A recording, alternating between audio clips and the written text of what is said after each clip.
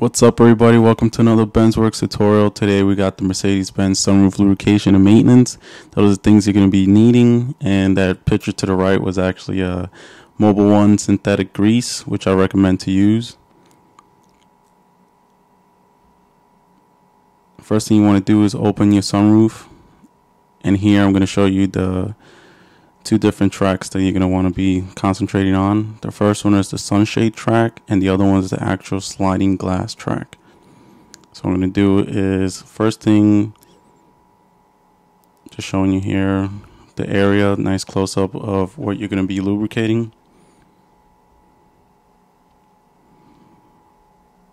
First thing you want to do is get a cloth or cleaning device and you want to clean the track get off all the debris and grease that might be there already. So you just want to go from one side to the other. You're going to want to use a cloth that doesn't really have too much uh, flint on it or any material that might get stuck in there. So once I do that, I use this special grease from Mercedes. Like I said before, you could use the Mobil 1 synthetic grease.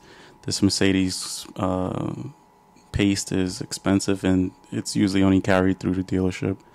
So what I do first is I take my small brush and I lubricate the sunshade uh, track there.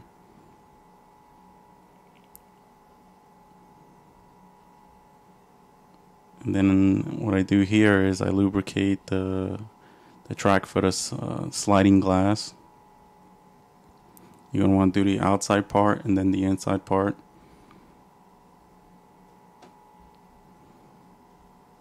And if you have any excess just gonna want to clean it off. Just lightly lubricate both tracks. You don't want to put too much grease in there because dirt and debris will get stuck in there and it can mess up your uh, sunroof operations. So what I do here is perform a little short test. Uh, you're going to want to do this every 10,000 miles or every oil change or at least check it out. And that's it for this tutorial guys. Thanks